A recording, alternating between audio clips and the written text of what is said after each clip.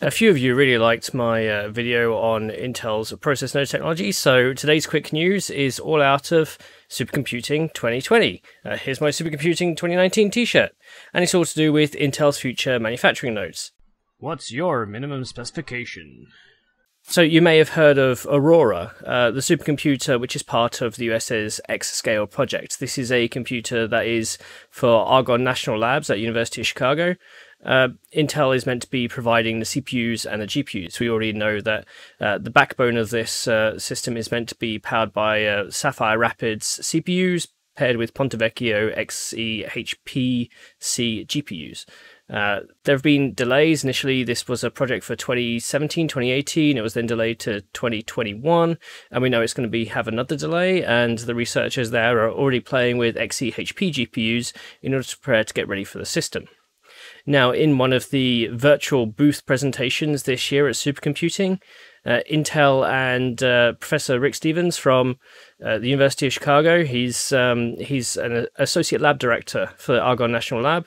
Uh, they were speaking about what they're going to use the supercomputer supercomputer for and uh, what sorts of software is going to go in it. Now, as part of those discussions, it was announced. It was announced, but announcement's kind of a strong word. I don't know. Uh, I don't know how to say this. Maybe you'll tell me in the comments how to take this. Uh, but they were talking about how to use machine learning to help improve Intel's future process node technology, uh, integrating machine learning into uh, supercomputers in order to help uh, build the next generation of silicon. How do you see Intel and Argonne's collaboration evolving? So, thanks for that. So um, the the silicon process is a as, a, as you know, is a huge challenge uh, for the for the industry to continue to make progress on uh, accelerating, uh, you know, next generation uh, architectures by improving the silicon process nodes. And this is an area where um, uh, we're quite interested in collaborating with Intel on bringing simulation and AI to this problem of silicon process optimization. And we'll be making some announcements with you, you know, over the next few months on how we're going to do that. Now, when you design a silicon chip in a wafer on a process node, uh, you obviously have, uh, you know, holistic circuit diagrams that you then have to pick and place into the into the right positions. Uh, with the transistors, you build them up into uh, essentially macros, which then you can copy paste around the silicon, and then the software, the EDA tools to do that, can help optimize for power, for latency, managing critical paths.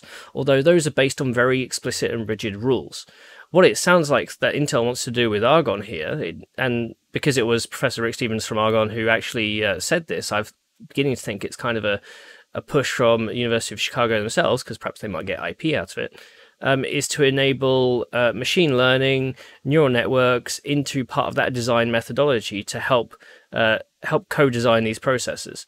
Now, automating designer processes on this level um, it's had its ups and downs in the past, especially just you know the rule based uh, placing of, of uh, components in silicon. It'll be interesting to see what can be done here. Um, most process nodes these days have a good amount of DTCO, that's design technology co-optimization, uh, and that's in order to essentially get the effect of a whole node transition benefit on the previous node. So for example, with DTCO on uh, 7 nanometer, you can effectively get a 5 nanometer chip. And so DTCO is a big part of that, and that you know requires a little bit of hand tuning, optimization of critical paths. And the idea is that maybe machine learning can do this, and maybe they can get something out of it. Very interesting for Intel to Intel and Argonne to say this today, um, especially given that we already know that in Q1, Intel is going to be making bigger decisions whether to pursue its 7 nanometer process node by investing in the hardware needed to actually produce it. What are your thoughts? Do you think this could be the revitalization of Intel's uh, semiconductor node manufacturing, uh, introducing machine learning? Uh, for a big machine learning company, you would you'd think that they'd be using their own hardware to help develop their own products.